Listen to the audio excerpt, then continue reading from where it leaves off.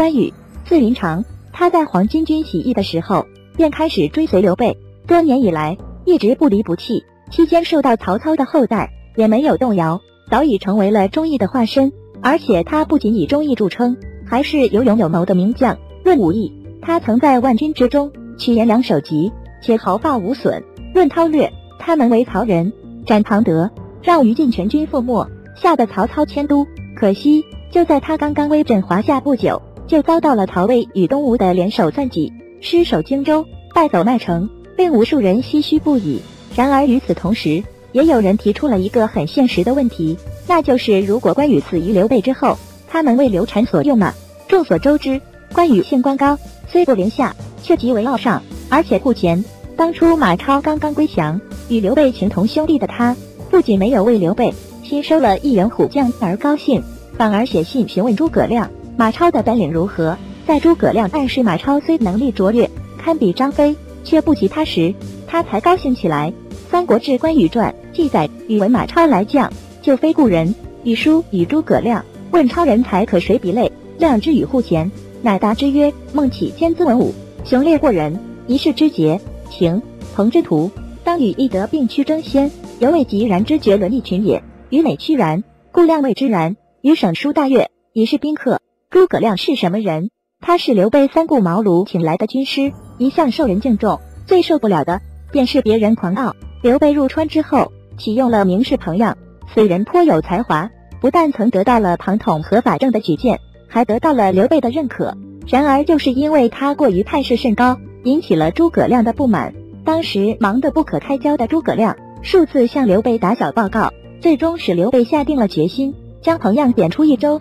但是面对关羽，诸葛亮却没辙了，只能顺毛走。那么一向暗弱的刘禅，能驾驭得了关羽吗？小编认为，在大事上，关羽应该还会听刘禅的，但是态度应该不会太好。顶撞主公等事，应该也会时常发生。说白了，就是关羽会忠于蜀汉，但是不会敬刘禅。为什么要这么说呢？我们一起来了解下原因吧。一，关羽忠于刘备。忠于蜀汉，关羽是一个非常重感情的人。他从黄巾军起义时与刘备相交，情同兄弟。虽然刘备对他有赏识之恩，于他而言相当于伯乐，但是他也一直为刘备南征北战立下了不少功劳。因此，在下邳兵败被擒之时，就算他转投曹操，也不亏欠刘备什么。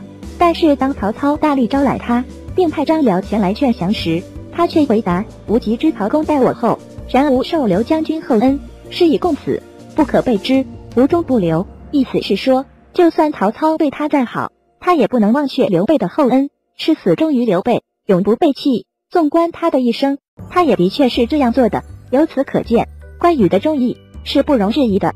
就算他死于刘备之后，也不可能背叛蜀汉或者谋反，而是会安心的做一个臣子，继续为蜀汉而战。二，关羽性官高，不敬主公关羽刚儿子金。而且没有上下级的观念，他虽然一向忠于刘备，却也不是对刘备言听计从的。据记载，当初刘备被曹操带回许都，便向软禁。在一次围猎之时，关羽建议暗杀曹操，没有得到刘备的应允。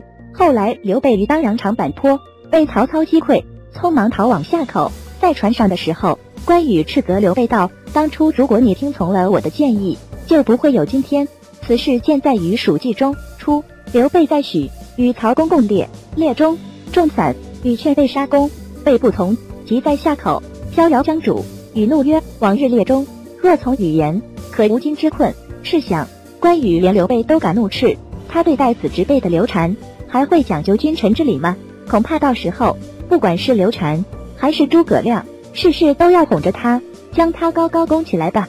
通篇分析之后，我们不难得知，如果关羽有幸死于刘备之后，他应该还能够为蜀汉立下不少功劳，算是能为刘禅所用。但是若说刘禅能够驾驭得了他，那就有些太过勉强了。